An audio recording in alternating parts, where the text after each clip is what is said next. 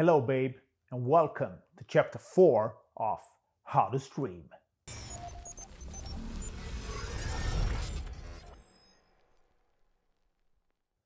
What do you think of when I say live streaming?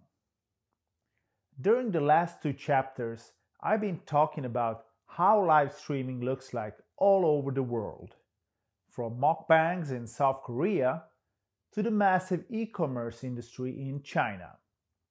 But now I want to talk about what to stream and why. How should one reason? So, first off, you need to ask yourself, uh, wh- why do you want to stream? Because streaming is mostly just a means to an end. Is it because you want to entertain or just have fun, earn money, get a career? Is it just because you want to get famous? Or is it just because you can, you have no plan? I would say that depending on what your reason is, decides what kind of streamer you will become and if you will succeed. I would also argue for that some reasons are healthier than others.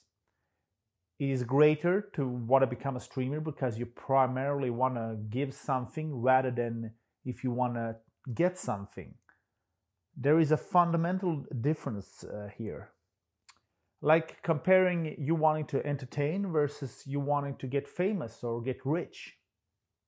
To become famous or rich should never be the goal, just the effect of you doing something you love and something people happen to appreciate.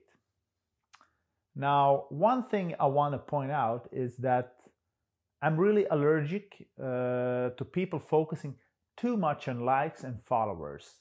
That is not healthy on any platforms. What you should focus on is giving quality and over time, hopefully, reach out. If you deserve it, you will get it. But be patient. This is not a sprint. This is a marathon that requires love and dedication. Promotion is, of course, a big thing in getting popular, and we will talk more about that in a, in a coming chapter. But when when streaming, you always have to be aware.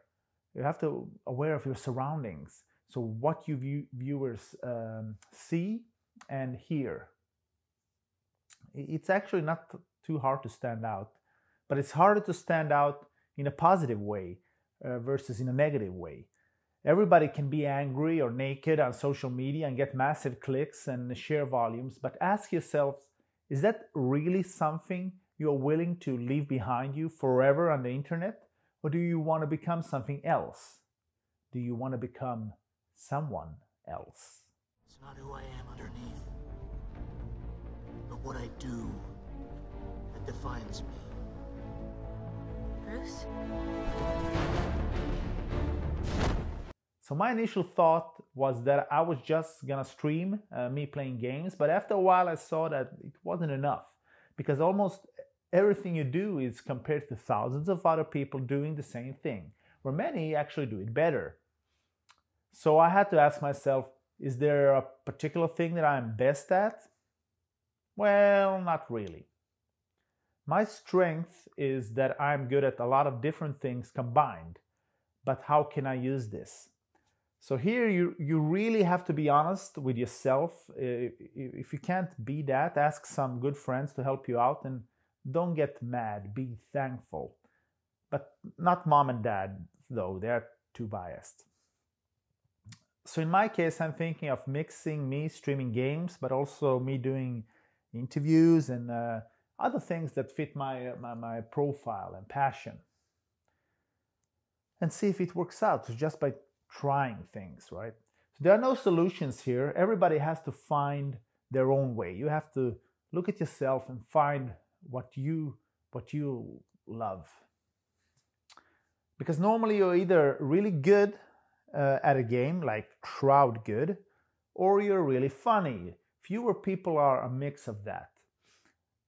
You could, uh, of course, also play a, a made-up character.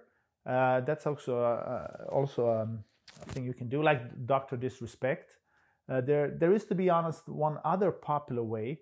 Uh, if you're a hot girl, you can attract followers by showing cleavage and ass, and that is something. But there, as I mentioned before, that is not something I would I would recommend and encourage. You will probably feel better in the long run if people uh, follow you for your insides and not your outsides, right? So, how much time uh, do I have to invest in, in, in streaming? Uh, most successful gaming streamers started out by streaming games on Twitch for six to eight hours a day, almost every day of the week. I will not be able to do that because, well, life. So my angle has to be less is more. Mobile store. but the the more content you push out there, the greater the chance is that you will you will be noticed. In most cases with up and coming streamers, you generally stick to one game.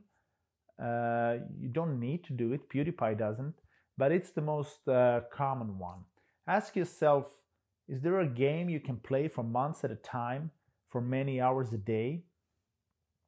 Uh, for me, right now, player battlegrounds player unknown battlegrounds is is that kind of game but i will probably be more open to trying out uh, other things in the future when new games come out and depending if i will stream by myself or with with friends uh, in the future i will put a link in the in the um, comments below which will lead you to the to twitch metrics where you can see which games are most popular and in that way maybe decide the way you want to go. My son Milo uh, wants me to start playing uh, Fortnite with him, so the question is if I'm comfortable of being carried by a 10 year old kid. I think not, right? But he's actually uh, really good. We'll see. They are the future, right? I have the, uh, this vision, however, that we could use the gaming to, to better educate ourselves. That's something I want to stream about. We all know that we learn better when we are having fun, right? So a few things entertain us uh, as much as games. So imagine learning history or math through through games. So I'm going to do some content about that, probably by inviting people to talk about uh, these kind of things. Uh, one other thing, I would also like to dive into how we could um, build bridges uh, between certain groups of people. For example, parents who never game and kids who do. Uh, look into that, but in a, in a streamer way, right? Or tourists and immigrants who want to learn more about our culture and country and uh, vice versa. Uh, imagine before you go to your vacation uh, to Egypt and uh, why not play a game with some Egyptians and maybe get a friend? Gaming really doesn't have any borders, and I love that. You also have to think about what, what language you want to stream in. So if I only spoke in Swedish or Montenegrin, I would be more niched because there, are, there, there only is a couple of million people who would understand me. If I go uh, and speak English instead, like, like I'm doing now, I will, I will have a reach of about one and a half billion people. That's um, 20% of the Earth population. But this would also mean bigger competition. So most of them, uh, the English-speaking nations, don't have English as their native language, uh, so they don't, they won't even be bothered by, by my in, imperfect speech. So I decided, as you noticed, that I will mainly do English, supported by Swedish and Montenegrin, to learn and feel the differences. We will see how all of this goes. I will, as promised, fill you in uh, along the way. Yeah, that, that, that's enough for this chapter. These things always get longer than I wanted to, but hey. Don't forget to be excellent to each other and please do subscribe. Until next week, adios.